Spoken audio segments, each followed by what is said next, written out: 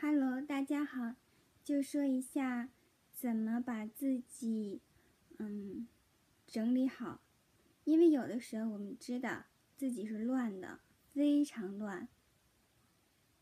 这个时候怎么办？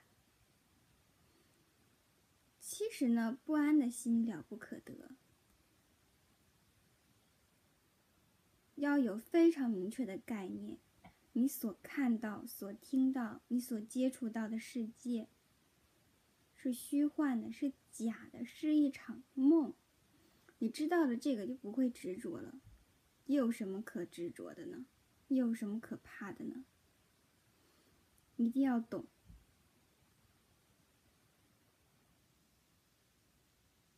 然后训练自己少想一点。只想真善美，不想别的，加油！